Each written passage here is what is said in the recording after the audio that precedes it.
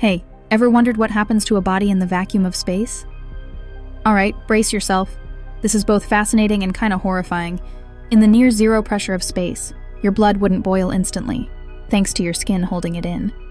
But you'd experience something called ebullition. Tiny bubbles form in your bodily fluids because the boiling point drops drastically when there's no air pressure. Creepy, right? But it doesn't end there. Oxygen deprivation kicks in. You'd lose consciousness in about 15 seconds. So, yeah, holding your breath.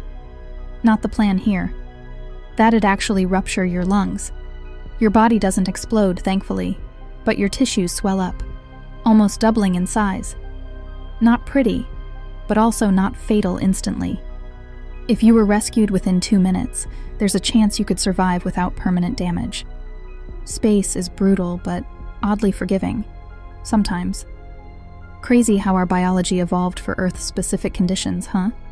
For more insane science like this, subscribe to Hyperfocus, where we break physics, tech, and philosophy into digestible wonders.